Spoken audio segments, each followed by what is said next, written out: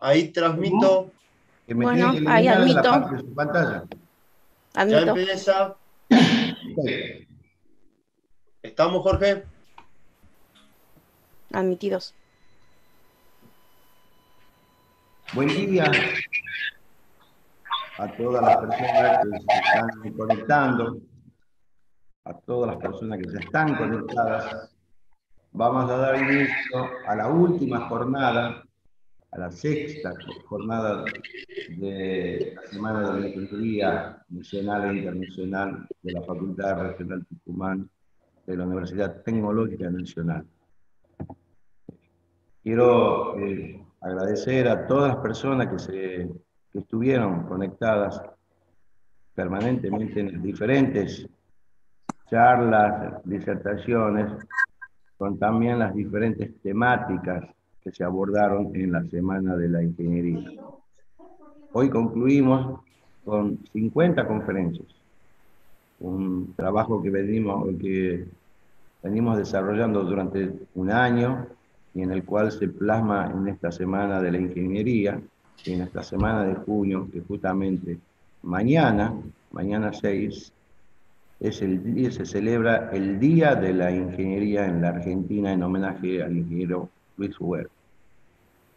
Nuestra casa de estudio de hace 14 años que viene honrando esta semana y en la cual fueron transitando diferentes profesionales, docentes, investigadores y científicos de nuestra provincia, de nuestro país, de toda Latinoamérica y del mundo.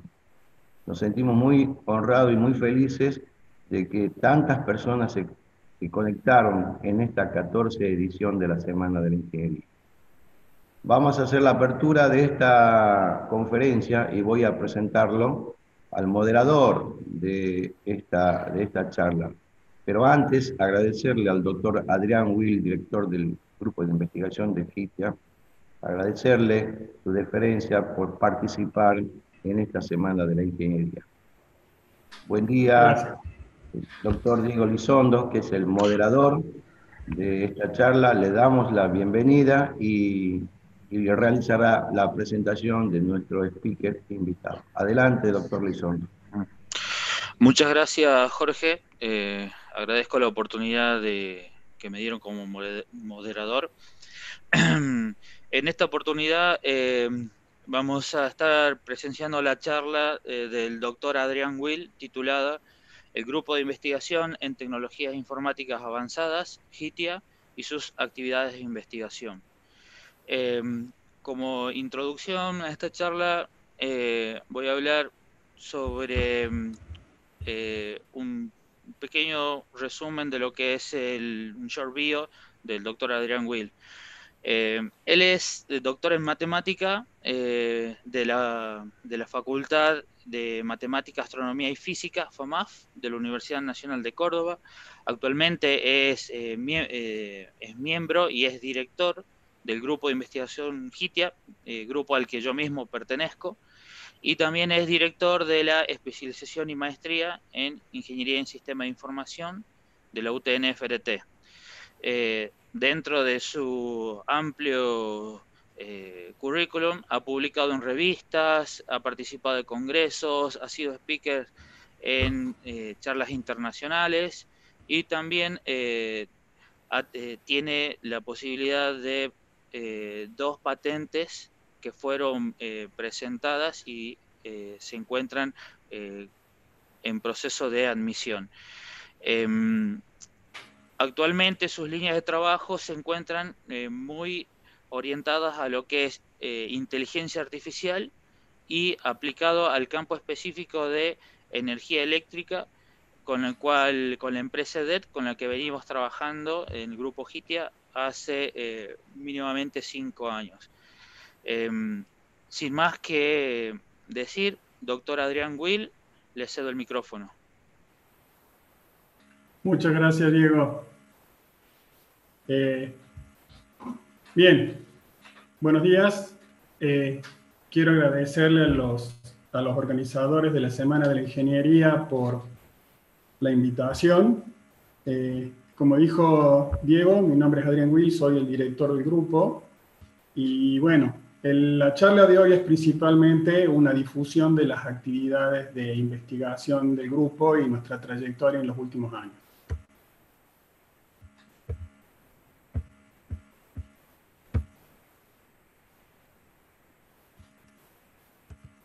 Bien, el grupo fue fundado en 2009 en la Facultad Regional Tucumán como Grupo CITAT, Centro de Investigación en Tecnologías Avanzadas de Tucumán, por el doctor Sebastián Rodríguez. El doctor Rodríguez actualmente está como profesor visitante en Australia.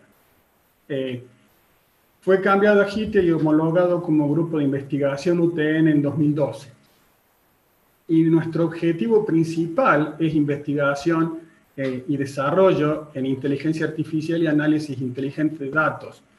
Eh, la idea del grupo, desde su inicio, es tener un impacto local y una proyección internacional. La investigación, creemos nosotros, eh, debe tener un impacto en el medio socioeconómico local y debe tener una proyección internacional que asegure la calidad de las investigaciones. Entonces, la hipótesis del doctor Rodríguez, que entendemos que está siendo validada por nuestra actividad, es que se podían encontrar problemas locales, resolver problemas locales que tuvieran un, cuya solución tuviera un buen nivel internacional y permitiera hacer publicaciones de calidad. Entonces, actualmente tenemos seis doctores y un doctorando. Eh, cuatro de esos doctores han sido formados en el GITIA, doctorados en Santa Fe, en inteligencia artificial, diversas ramas. Eh, hay dos doctores más, el doctor Gota y yo, que somos doctores en matemática. Y un doctorado, Matías Rocha, el pendiente para terminar este año. La idea desde siempre fue hacer un grupo interdisciplinario. O sea, eh, hay gente de sistemas como Diego, hay gente de computación, estamos nosotros de matemática, Hemos tenido en el pasado gente de electrónica y mecánica que esperamos volver a tomar eh, profesionales de, esa, de esas ramas en cualquier momento. Nuestra investigación respalda la especialización, la maestría en ingeniería de sistema de información y la carrera. Es muy conocido que CONEAU, la que fija los estándares de calidad de las universidades y de las carreras, que tiene muy en cuenta las investigaciones que llevan a cabo los docentes de las carreras. Entonces, eh, bueno, nuestra investigación y nuestro grupo sirve de respaldo para la maestría y la especialización y la carrera de grado en Ingeniería y Sistemas de Información. Vamos a los resultados de los últimos cinco años. Eh, como ya dije, formamos cuatro doctores en inteligencia artificial. El ingeniero Elizondo, el ingeniero Pedro Araujo, la doctora Ana Sofía Salazar y el doctor Jiménez. Me parece que alguien tiene un micrófono abierto por las dudas aviso. Eh, el doctor Gotay dirigió un doctor en alimentos también que se recibió hace dos años eh, tenemos un doctorando finalizado y cuatro magísteres que hemos terminado, que han culminado en esos cinco años. Uno de, de los índices más importantes que para tener en cuenta para, para acreditaciones, para evaluar el nivel de las publicaciones, es lo que se llama el cuartil 1. Eh, hasta ahora se usaba para ver la publicación, el nivel de las publicaciones, lo que se llamaba el impact factor. Eh, en los últimos dos años ya se ha pasado a, lo que se llama cuartil 1. Se dividen las publicaciones en cuartil 1, 2, 3 y 4 y las revistas más difíciles son las de cuartil 1. Entonces, las publicaciones de nivel internacional se ven en eso, en la cantidad de revistas de cuartil 1 y bueno, sí nos costó bastante esfuerzo llegar, pero estamos llegando al objetivo de publicar en revistas de ese nivel. ¿Mm? También hemos publicado tres capítulos del libro, 20 papers en otras revistas de diferente nivel, nacionales e internacionales, y 14 presentaciones en congresos nacionales e internacionales. Varias de esas han sido invitaciones a, presentaciones en congresos, tanto a mí como al doctor eh, Rodríguez. ¿Mm? Tenemos convenios a nivel local con la empresa EDET eh, y con el Instituto de Energía Eléctrica de San Juan, un instituto del CONICET, eh, para compartir datos de consumo y para investigación y desarrollo. Eh, y tenemos, hemos trabajado hasta hace poco con la Estación Experimental Agroindustrial en temas de clima. Para eso nos compartían datos y existe un convenio vigente también. Tenemos convenios con diversos países del mundo, principalmente los Estados Unidos, Francia y Canadá. Eh, y el convenio local más importante para nosotros, uno de los que más eh, nos da impacto local y más ha permitido llegar a las publicaciones eh, importantes, es el convenio con EDEC que tenemos vigente desde el año 2012, ininterrumpidamente. Entonces, eh, ¿cómo se mide el impacto? Eh, primero, por las publicaciones, y segundo, si uno quiere, por lo menos a nivel mundial, si uno quiere llevar realmente las cosas a la calle, si uno quiere generar sistemas que devuelvan a la gente y al medio y a la universidad de última, eh, es imprescindible, además por los reglamentos vigentes en UTN, solicitar protección intelectual, en este caso patente de invención, sobre los resultados potencialmente comercializables o transferibles. Entonces, los dos últimos doctorados que hemos tenido, Diego Lizón y Adrián Jiménez, eh, ya voy a dar más detalles, han presentado sendas solicitudes de patentes. Eh, Diego en 2016 y Adrián Jiménez el año en 2019. La última esta, estamos avanzando sobre implementarla en EDET y hemos recibido invitaciones internacionales para el segundo cuatrimestre a un congreso en Roma y otro en París. Eh, eso, esas dos cosas y la publicación principal ya aceptada y otras dos que están en camino, eh, hablan del nivel de la publicación. Pero bueno, eh, la parte importante es que hemos solicitado patentes para es otra forma de, eh, medir el nivel del desarrollo y potenciar la transferencia.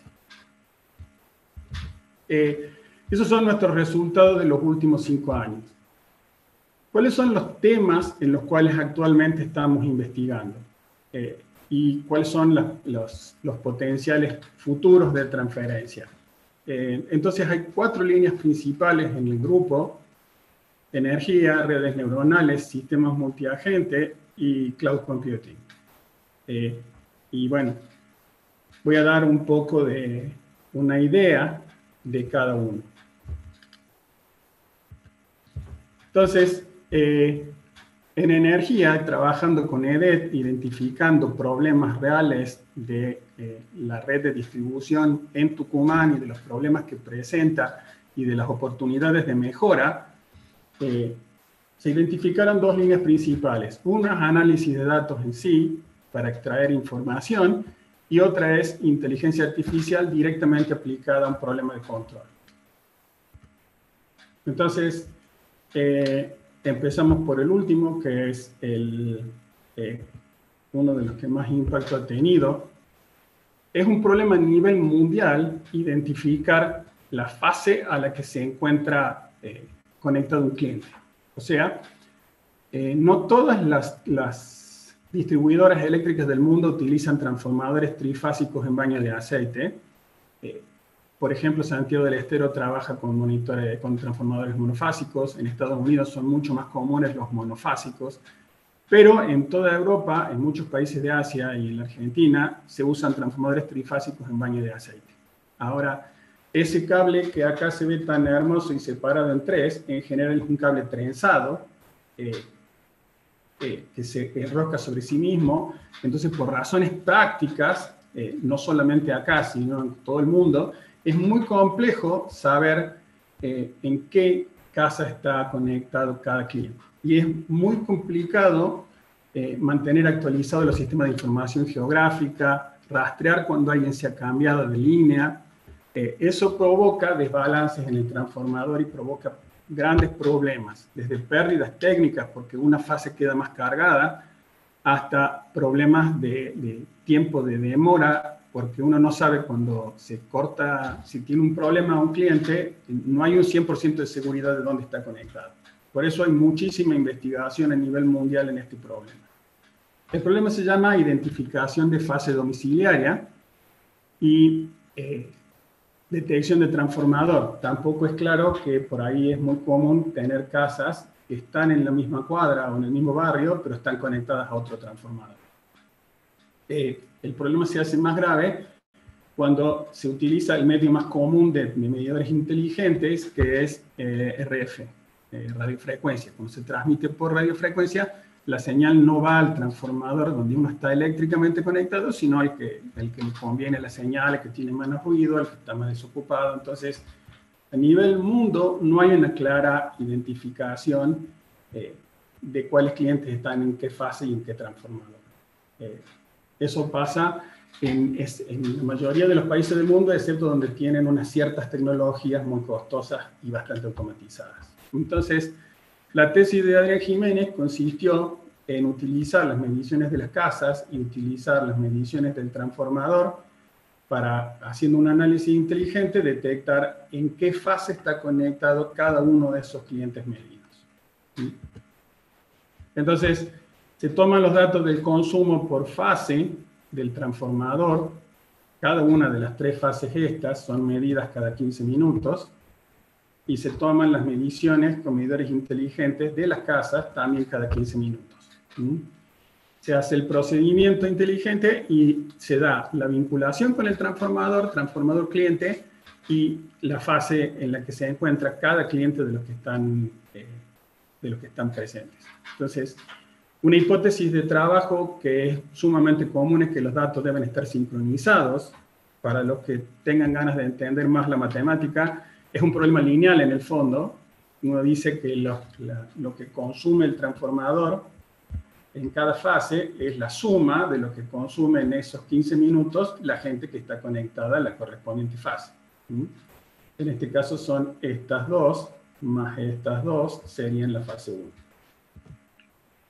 claramente eh, una, de las, una de las grandes ventajas del sistema es que eh, funciona a pesar de que uno no tenga todos los clientes. Esa es una característica única en el mercado hasta donde sabemos y en las publicaciones. En general hay muy pocos trabajos que permitan resolver este problema sin tener todos los datos, sin tener todas las mediciones de todas las casas conectadas. En el caso nuestro, sí. No solo eso, sino que además es resistente a la falta de datos. Entonces, tiene ciertas características que lo hacen eh, muy importante a nivel, eh, a nivel real, a nivel implementarlo en EDET. Además, el tiempo en que se obtienen los resultados es bastante más rápido de cualquier otro de los métodos que se basan en análisis de datos. Si se fijan, eh, la cantidad de medidores que se usan va entre el 10% y el 100%, o sea, cuando tengo menos medidores, se demora más en, conseguir los resultados.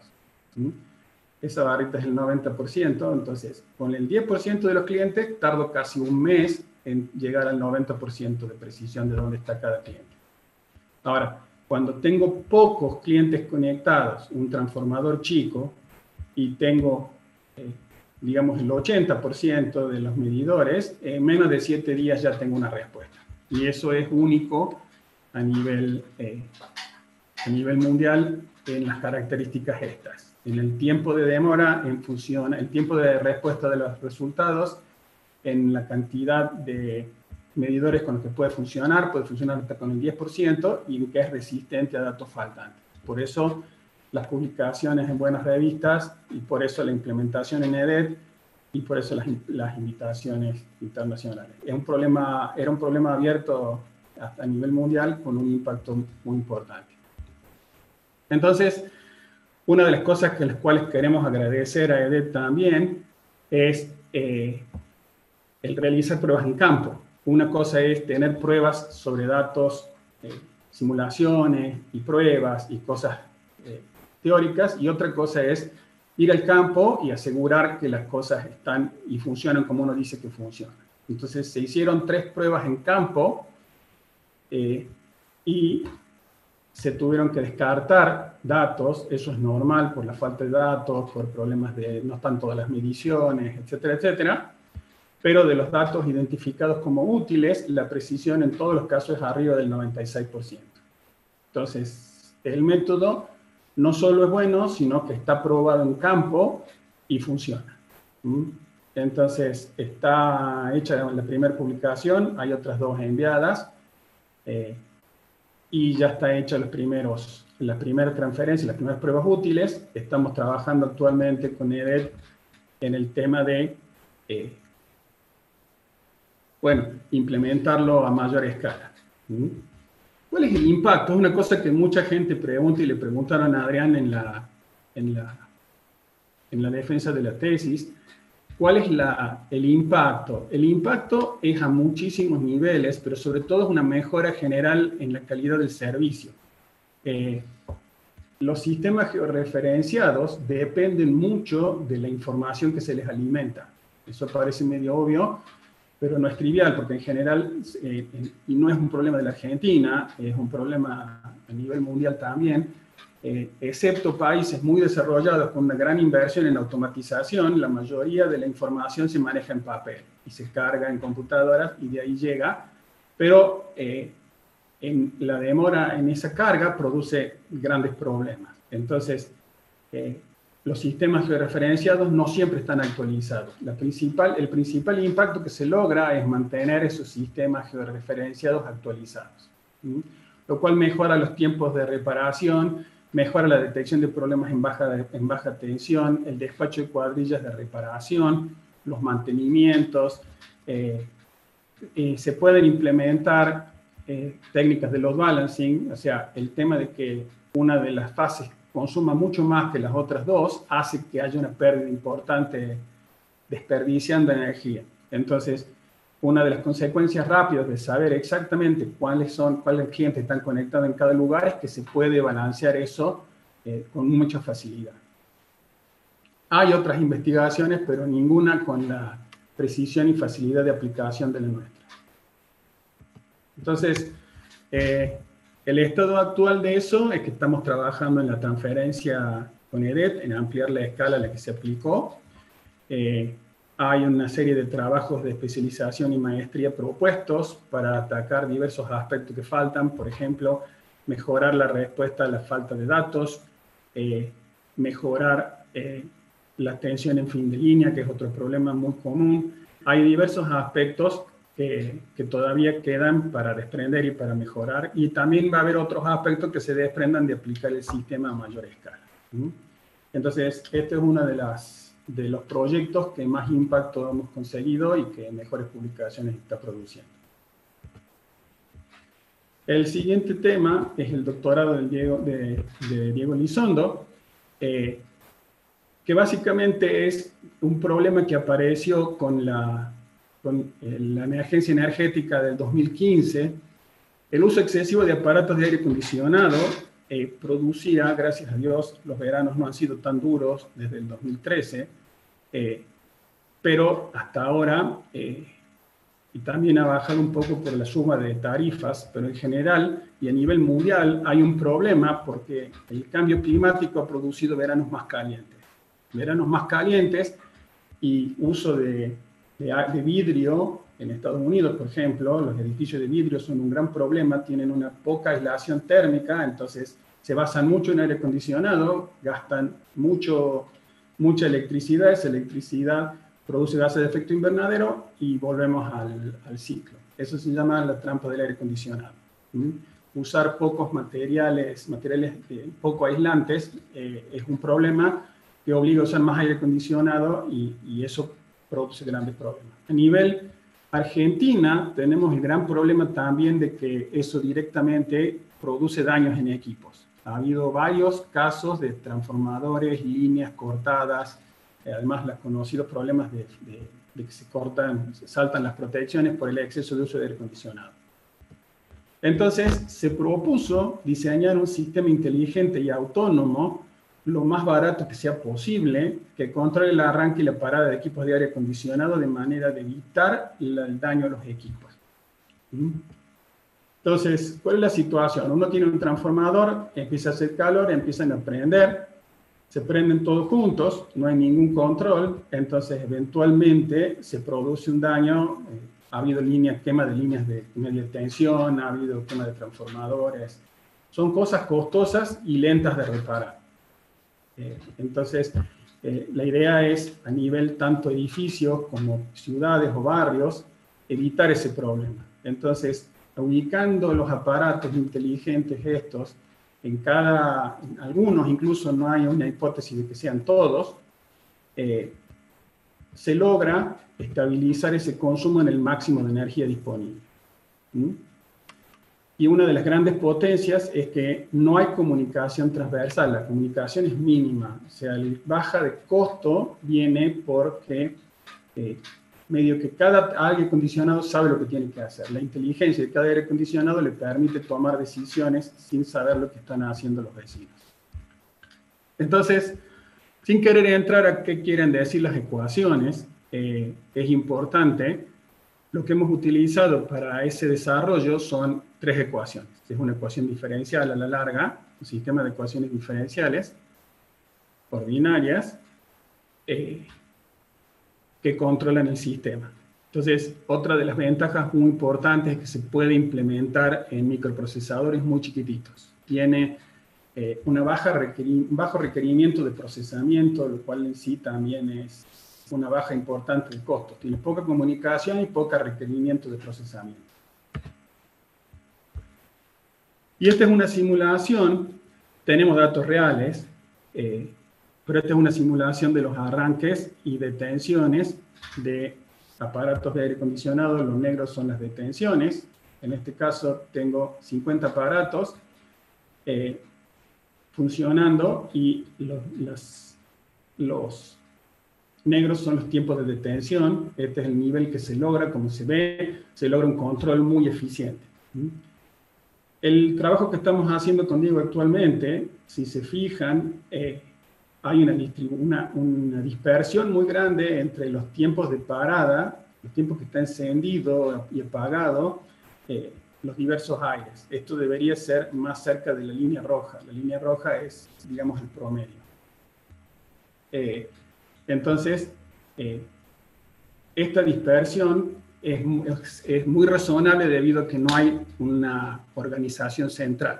El sistema centralizado puede conseguir mejores óptimos. Un sistema distribuido donde no hay una comunicación transversal, donde yo no sé qué hacen los vecinos ni las otras soluciones, eh, no va a poder ser mejor. Entonces, creemos con Diego que tenemos una forma de que eh, esto sea más justo. La distribución se acerque más a la línea roja, que haría que la parada de todos los aires sea de 15 a 14 minutos, sin complejizar la comunicación. Ese es el trabajo que estamos haciendo con Diego en estos momentos. También hay otra serie de trabajos eh, desprendidos de esto, como eh, ver el impacto a nivel ciudad. Ha habido trabajos muy importantes sobre el impacto del aire acondicionado, entonces el ver cuál sería el medir realmente para establecerlo como política, cuál sería el impacto de, de lograr eh, instalar el sistema a gran escala es un una tarea que se ha encomendado a un par de alumnos. Bueno, esto se implementó en la UTN en 2018, así que también está aprobado en campo. Una de las cosas que tenemos pendiente es también eh, durante el año que viene o el verano que viene, si podemos, eh, hacer una implementación a mayor escala. Esa validación es crítica para poder mostrar en, la, en la transferencia, mostrar en la realidad que la cosa funciona y, bueno, tratar de, de, interesar a, a, posibles adquirientes de la tecnología. Ese es el tema de energía hasta hoy. El siguiente tema del grupo es redes neuronales, dirigido por el doctor Jorge Gotay y Matías Rothschild, que es el, eh, el doctorado. Entonces, ¿cuál es el problema que atacó Matías? Uno de los problemas más comunes en redes neuronales es el Vanishing Gradient Problem, que llevó como uno de los principales problemas a, resolver eh, a la implementación de redes neuronales profundas. Las redes neuronales profundas aparecen hace mucho, en los años 80, 90, eh, y antes también, como solución al problema del Vanishing Gradient Problem. Entonces, ¿Qué es el Vanishing Gradient Problem? Eh, el Vanishing Gradient Problem aparece por el uso de la red, del algoritmo más común de entrenamiento de redes neuronales, que es el backpropagation. Uno tiene una salida, compara las salidas que le da la red con la que debería dar, eso genera una diferencia, esa diferencia se deriva, se hace un gradiente, y ese gradiente se va corrigiendo hacia atrás. Por eso el backpropagation, hasta ver las correcciones que hay que hacer en todos los pesos de todas las capas. Dicho rápidamente. Cuando la función es, la función más común utilizada es, la la, el arco tangente, eh, eso no tiene mayor problema porque tiene otra forma con una buena derivada. El problema es cuando uno quiere usar la función sigmoide, esta es una de las funciones inevitablemente utilizadas por varias arquitecturas como las LSTM y los autoencoders. Eh, eh, la sigmoide tiene el problema de que tiene una derivada muy baja. Entonces, lo que se hizo, lo que hicieron al principio, cuando se, el, cerebro funciona con, no tengo señal, sí tengo señal, o sea, con una, con una forma de, de sigmoide, se descubrió este problema y directamente cambiaron de función a las, a las arcotangentes, al TANSIC que se llama. Sin embargo, hay muchas arquitecturas que están obligadas a usar esta función.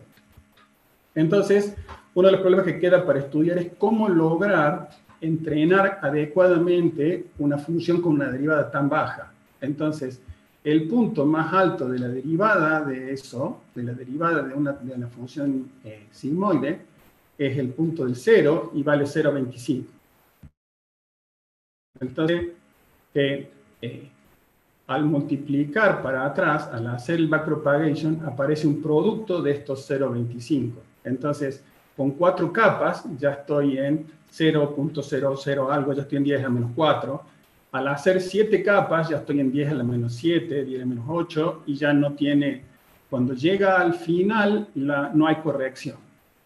Ese es el, problema, se exacerba mucho el problema del vanishing gradient problem. Eh, entonces, las tres cosas que hemos estudiado con Matías son los tres problemas principales que aparecen y es, uno es el problema de la derivada. La derivada es este 0,25 de acá, es muy chica. El otro problema es la saturación. Cuando aparecen puntos en esta zona, van a parar a esta zona y la derivada es casi cero también sea ahí o sea ahí. Eso se llama saturación. Entonces, hay que resolver tres problemas para usar una sigmoide. El vanishing gradient problem, la saturación de las neuronas dada por una mala distribución de puntos, ya sea la entrada o la salida o durante el entrenamiento. Y el problema del punto fijo, si yo tengo mis datos en el 0,2, fíjense que cuando aplique la sigmoide, eso va a parar a un intervalo mucho más chico. Cuando haga ese intervalo de nuevo va a ser más chico, etcétera, etcétera. Entonces, eh, si uno pone suficientes capas, digamos 10, eh, eso ya no se mueve, converge a un punto fijo. Que viene del problema de que la función sigmoide es contractante. En un intervalo grande va a un intervalo más chiquito y después otro más chiquito y más chiquito hasta que queda un punto. Eso normalmente se resuelve con normalizaciones entre capa y capa, pero eso tiene un costo en procesamiento muy alto. Entonces, eh, sobre todo cuando estamos hablando de miles o millones de datos. Entonces, eh, bueno, la propuesta publicada de Matías es una perturbación. Si uno perturba la derivada, eh, consigue entrenar más capas sin afectar el resultado. Eso está publicado y bueno, funcionó bastante bien, eh, está aceptado, está publicado. La siguiente etapa de la tesis de Matías es proponer otras soluciones. Estamos pensando en otras modificaciones de la función sigmoide, eh, pero de forma que las arquitecturas que están obligadas a usar funciones de transferencia sigmoidales en su arquitectura puedan entrenarse por lo menos mejor de lo que se pueden entrenar hoy. Ya tenemos bastantes resultados, eso va bastante bien. La siguiente, el siguiente proyecto eh, relacionado a redes neuronales e integrado por Jorge, Matías y yo, es el análisis de sentimientos en historietas. Eh, uno de los problemas más comunes y más duros a nivel mundial para la, red, para la inteligencia artificial es el humor. Ha habido muchos intentos para reproducir humor y para entender el sarcasmo en, eh, empresas grandes como eh, el mismo Microsoft o Amazon y demás, eh, pero hasta donde, hasta donde estaba el estado del arte, hasta donde está publicado, no han tenido éxito. Entonces, hacer que una red neuronal o un sistema inteligente pueda reproducir o crear humor eh, es, un problema que todavía no está resuelto. Si hay imitaciones de estilos de música, si hay imitación de estilos de pinturas. Hay sistemas que pintan como Picasso, hay sistemas que, crean música como Bach y que adaptan estilos, se llama este, copia de estilos, pero no hay buena creación de eh, humor, de, creación de, chistes y demás. Aunque parezca un problema simple, es un problema bastante complejo a nivel mundial, porque eh, tiene que tener, el sistema tiene que tener mucho contexto sobre el problema. El humor depende fuertemente del contexto. Eh, es uno de los puntos donde más depende del contexto. Entonces, elegimos el análisis de sentimiento en historietas como puerta para entrar al problema de los sistemas eh, con contexto, que tienen en cuenta el contexto y específicamente a mediano y largo plazo eh, poder ingresar en el problema de crear humor. Hacer una copia de estilo eh, pero basada en humor. Entonces elegimos Mafalda porque es uno de los cómics más simples de varios puntos de vista. Eh, es solo blanco y negro, hay pocos personajes muy claramente dibujados, el fondo es blanco con algún mínimo detalle, las viñetas son claras, eh, cualquiera que haya visto cómics de Marvel o de DC sabe que, las viñetas no son claras, están muy mezcladas, entonces hacer entender a una red eso es un problema bastante duro. Eh, y Mafalda es una tira de cuatro viñetas con una necesidad de contexto bastante limitada. Entonces, más allá del, sentimiento de las historietas en sí, eh, es una buena puerta de entrada para trabajar en crear humor y para trabajar en eh, sistemas que entiendan o tengan en cuenta el contexto, avanzar sobre eso. Eh, por supuesto, un proyecto a largo plazo. el avance que tenemos hoy es, se cortaron casi 2.000 tiras, de lo cual produjo 8.000 viñetas, eh, los cuadritos de la historieta, eh, y se hicieron redes que presentan un 95% de precisión en el reconocimiento de cuál es el carácter que está hablando, dónde está el globo de texto, etc. Eh, disculpen que no pongamos fotitos, pero por una cuestión de propiedad intelectual eh, todavía no hemos tramitado, no está completo el permiso. Eh, el siguiente etapa se requieren voluntarios, así que sería muy interesante a los interesados para participar del proyecto. Una paradójicamente, en muchos proyectos de redes neuronales y de inteligencia artificial, el rotulado manual es una de las actividades más importantes, enseñarle a la red lo que tiene que saber. Así que hemos habilitado un mail para los que quieran participar del rotulado. Hay que decir eh, cada personaje si el, el, estado de sentimiento que tiene y con eso entrenar una red.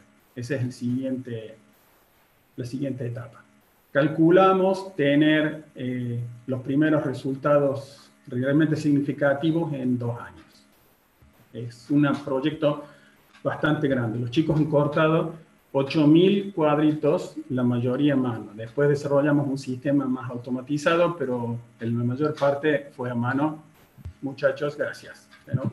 son estudiantes voluntarios.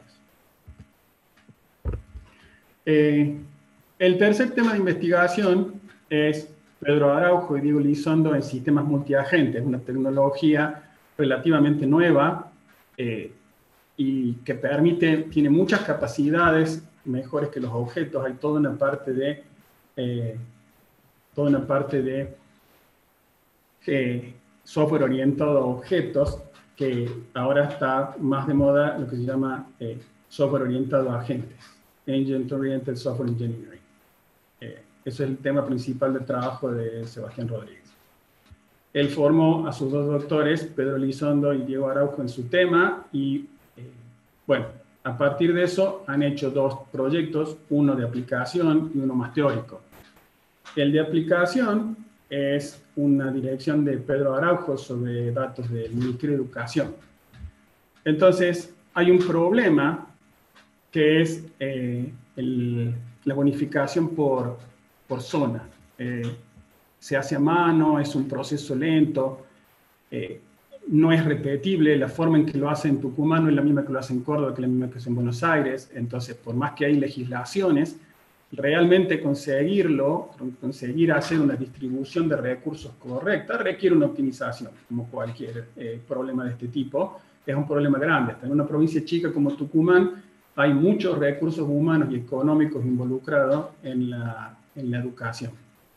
Entonces, hacer una distribución correcta de los recursos y hacer una adaptación ante los cambios eh, requiere inteligencia y requiere hacer métodos más automatizados. Entonces, lo que hicieron Rubén Olea y Pedro Araujo fue tomar datos libres, eso es una parte muy importante y heroica porque eh, el conseguir los datos es una gran parte del problema entonces, el haber trabajado con datos libres hace que sea más fácil la transferencia a otras provincias y a otros casos.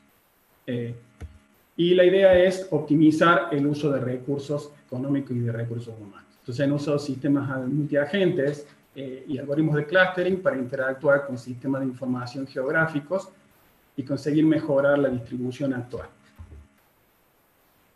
Esa era la distribución original. Probaron un montón de algoritmos eh, un trabajo largo de casi un año o más y la mejor distribución que ha dado es una variante de Camille. Y han conseguido una nueva distribución.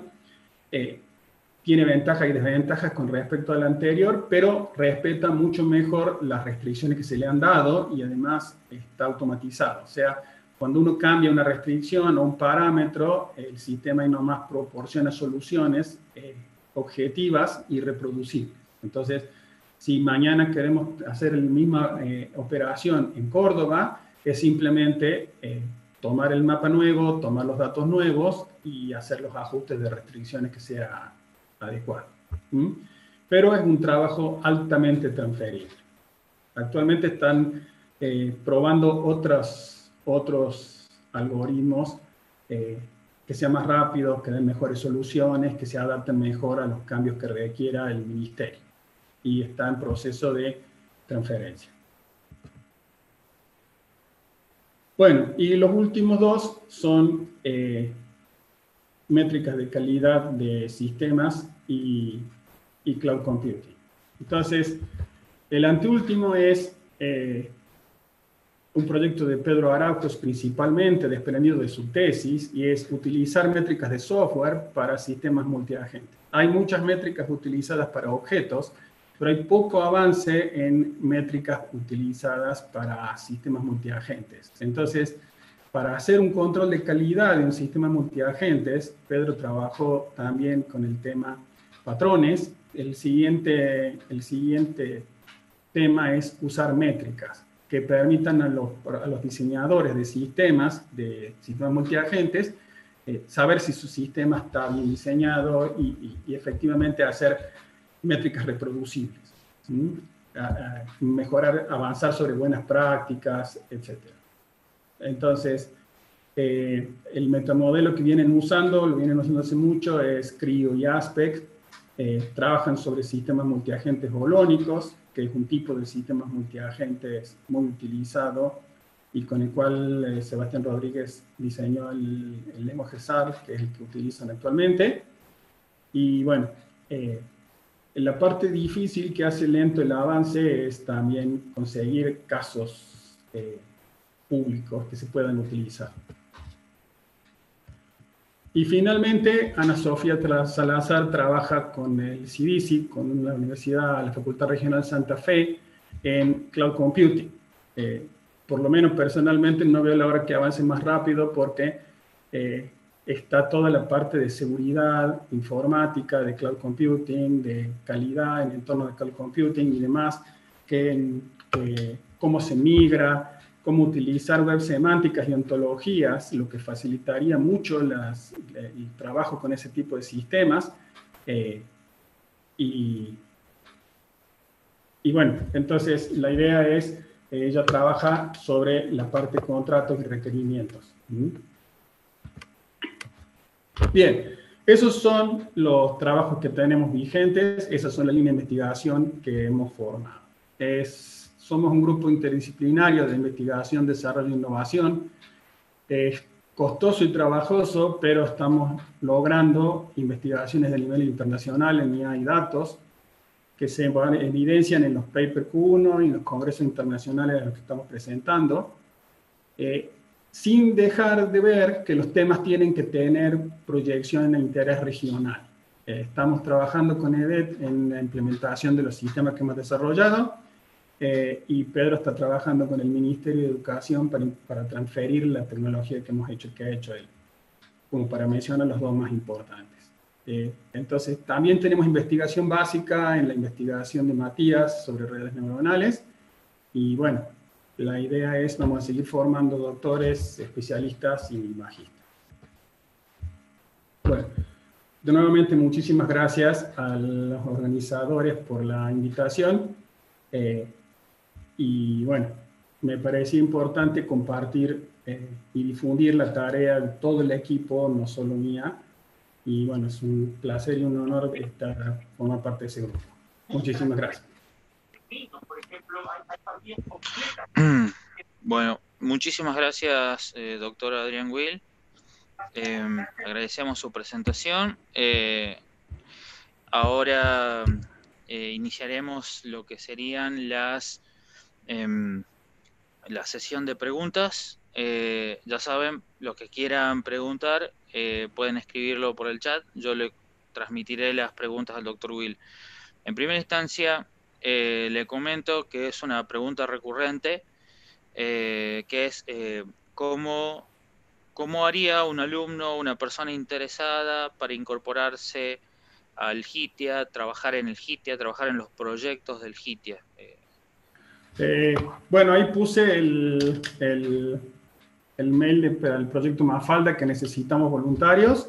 Y si no existe el mail info.hitia.org eh, que, sería la forma correcta de, de acceder.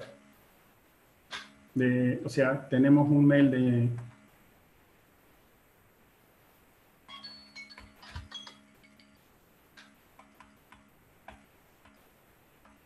Ese es el mail principal por el que la gente tiene que acceder para pedir eh, participar en algún proyecto, para pedir eh, eh, requerir información sobre lo que estamos haciendo o las carreras que, que tenemos en vigencia, las optativas para los alumnos, toda esa información la pueden, está en la página del grupo o la pueden ver de ahí. Y para el proyecto Mafalda estamos pidiendo voluntarios. Eh, ahí hemos puesto mail. El mail era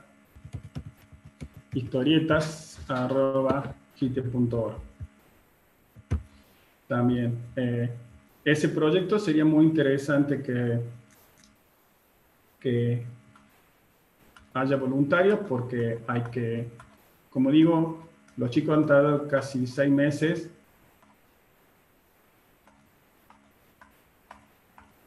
En, poder cortar manualmente las, las tiras y en viñetas y pasar los textos. Así que, bueno, info arroba para los proyectos y las carreras, las materias optativas que tenemos y demás, e historietas para participar del proyecto. Ese proyecto está abierto al público, no hay que saber, no hay que tener conocimiento, es simplemente Mafalda está triste, el Guille está enojado y con eso ayudan un montón al desarrollo de esto. Eh, al desarrollo del, del sistema. Bien, eh, una pregunta que también eh, se la transmito. Eh, consultan sobre cuáles son los principales desafíos de hacer investigación en Tucumán. Hmm. Hay muchos. los dos primeros es falta de fondos. Estos son universidades públicas argentinas, entonces estamos muy limitados en, por ejemplo, hacer hardware el, hacer cosas que requieran hardware, el trabajo de Diego mismo eh, tiene un componente de hardware. Hay que instalar ahora, eh, habría que instalar 30 dispositivos en un piso, pero ahí tenemos problemas de fondos y problemas de importación. Entonces, dos de los más grandes eh, desafíos hoy es que está limitada la importación y el acceso a fondos para pasar a cosas competitivas. Hay que hacer varios prototipos, hay que hacer, eh, importar los materiales. Eh. Entonces el tema de la limitación, las demoras burocráticas en las compras y la falta de fondos es una de las cosas que plagan. No es un problema solo nuestro, es un problema típico de las universidades argentinas. Eh, hacer investigaciones de ese tipo y desarrollos es una cosa compleja. Y bueno, el tema de, de ir a congresos y publicar en revistas cada vez está más caro las inscripciones al Congreso andan entre 300 y 900 dólares, entonces hasta para hacer investigación eh, hacen falta fondos que está costando cada vez más conseguir. Yo diría que esas son las, las principales, eh, una de las principales eh, problemas. Bien, muchas gracias. y finalmente la, la, última pregunta que le transmito es sobre las líneas de investigación actuales que ya nombró y si tienen eh, eh, proyecciones o ideas de crear otras líneas o eh, que, otros temas también se trabajan en GITI aparte de, de estos cuatro principales mencionados. Chango, tenemos seis personas y cuatro líneas. no nos da el personal para abrir más líneas. al revés, las la línea de, energía empezó a avanzar cuando empezamos a juntar gente. O sea, hay una masa crítica necesaria para que una línea de investigación progrese. Entonces, eh, esa masa crítica es imprescindible. Abrir más no es, no es una buena política hoy. Al revés, hoy es profundizar las líneas de investigación que tenemos y acelerar los resultados. O sea, es importante tomar más gente en redes neuronales, por ejemplo ese tema tiene poca gente. Necesitamos una o dos personas de planta trabajando en redes neuronales en la parte teórica, trabajando en el tema historieta. El tema historieta es un, proyecto a largo plazo. Entonces, eh, se requieren uno o dos doctores más en ese tema para poder realmente hacer un avance significativo que tenga un impacto. Eh, estamos hablando de un problema que le cuesta a empresas grandes. Nosotros somos un grupo chico con pocos recursos. Eh, lo cual no nos inhabilita, ¿no? Pero quiere decir, se requiere más, más, más personal y más trabajo. En general, la política nuestra es profundizar las cosas que, las líneas que ya tenemos. Eh, no, no, tengo por el momento pensado eh, abrir nuevas líneas. Ya mantener las que siguen y las que tenemos y profundizarlas ya va a dar mejores resultados. El día de mañana veremos. Bien, muy bien. Eh, y finalmente, eh, también una pregunta de, interés eh, general es sobre lo que son las becas o intercambios que, se realizan, ya sea los investigadores, estudiantes, o sea, qué, posibilidades hay dentro del GITIA para acceder a alguna de estas, de estas condiciones. Mira, la gente de recursos internacionales está moviéndose mucho ha habido una gran renovación de convenios, ha habido el convenio con Canadá lo están renovando y hay becas, becas hay. El problema es que estamos en medio de la pandemia. Entonces, eh, está directamente prohibido desde la Argentina mandar físicamente a nadie al exterior. Entonces, además, la verdad, yo mismo estaba invitado a París, Roma y el año que viene en Dubái y no creo que vaya por lo menos no quiero asumir el compromiso y que a último momento se cancele por cuestiones de salud. Entonces, eh, posibilidades hay, sí hay, están las becas. Que acércate al grupo y yo veo lo que haya y lo que la gente de IA y Mario Madariaga y la gente de, Relaciones Internacionales ha hecho un trabajo muy sólido y muy bueno en, en, actualizar esos convenios y en poner a disposición las becas. Pero no hay nada que podamos hacer contra las cuarentenas y la pandemia. Entonces, las posibilidades, hay, un, hay algunos programas que están pasando online, pero las posibilidades de becas físicas, si bien legalmente existen, si bien las becas están y se pueden conseguir, eh, dependemos de la pandemia para poder efectuarlas.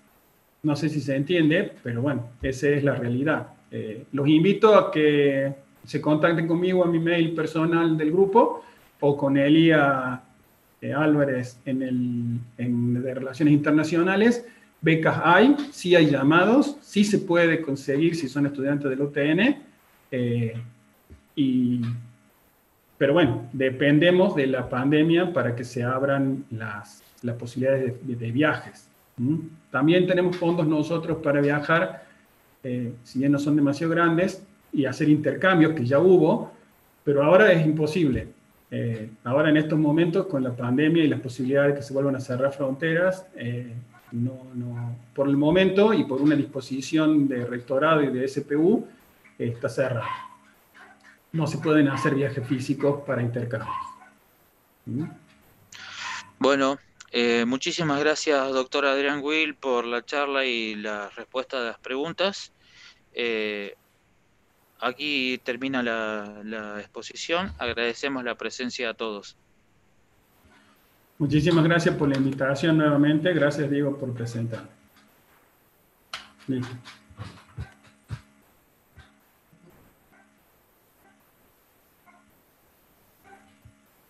Jorge, les pasamos el micrófono a ustedes.